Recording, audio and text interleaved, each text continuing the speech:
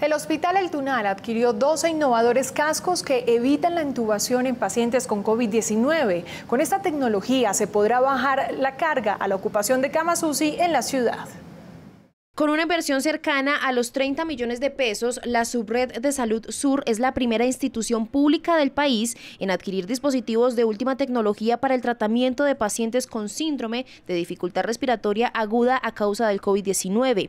En el Hospital El Tunal ya se encuentran 12 cascos nuevos que disminuyen el uso de respiradores mecánicos, beneficiando la recuperación y salud del paciente. Nuevas tecnologías que se están utilizando es un método de ventilación mecánica no invasiva el cual se utiliza para disminuir tanto tiempo en ventilación mecánica invasiva como uso de ventilación mecánica o ventiladores. Se trata de un método de ventilación no invasiva que no requiere sedación. El paciente se mantiene lúcido y en contacto con sus familiares mientras se recupera. Se utiliza mediante flujos de aire y oxígeno bajo una válvula PIP que le genera la presión necesaria para utilización de ventilación mecánica en fallas respiratorias agudas. Los dispositivos son similares a unos cascos de astronauta o buzo, transparentes y permiten inyectar el oxígeno con una presión superior, lo que genera un efecto benéfico a los pulmones, que en muchos casos colapsan por el efecto del COVID-19. No es para todos los pacientes, sino debe ser usado